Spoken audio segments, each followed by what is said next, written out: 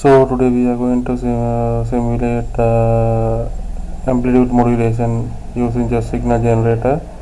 So let's see how do do we do it. Uh, first I select two signal generators. Uh, two signal generator. This is the first one and this is the second one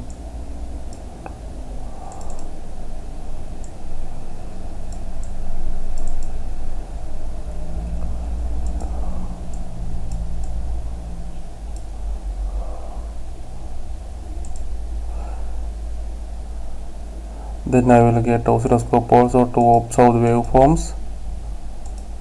And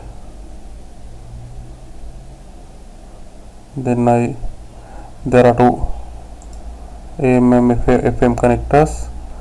So I take one signal generator input and input to the AM and I ground the other end of the signal generator. This one and this one.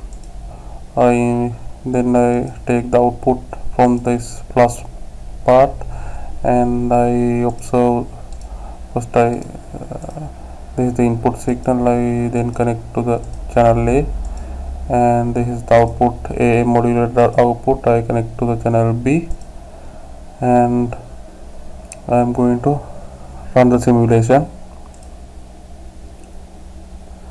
So you can see two signal generator controls were open.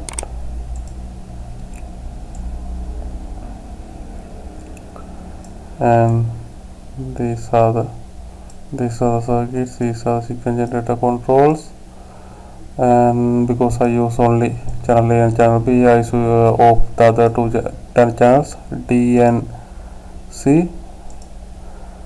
As you can see then I connect to the AC mode. This is the channel A and channel B are here. You can see then I input signal I set the input signal to so I further increase the amplitude modulation signal carrier signal. So you can see slightly appearing. So this is uh, input signal. You can see it changing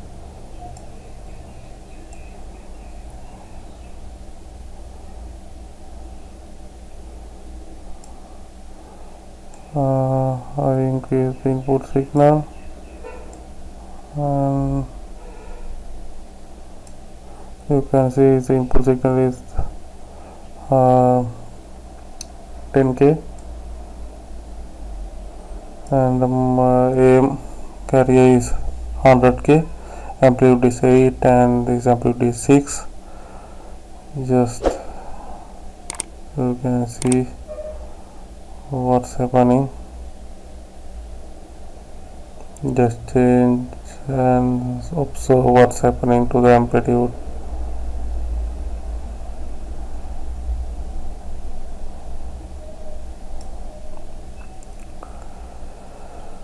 And when you make the cursors you can get the different voltage values. And uh, basically the amplitude modulation is ch changing the uh, carrier's uh, amplitude carrier waves amplitude according to the intensity of the information signal. So just observe those points. Is proportional to the amplitude of the information signal carrier waves amplitude. So this is the amplitude modulation. So we will meet with another video to modulate uh, frequency modulation fm modulation how to do it with uh, Proteus so thank you very much for watching video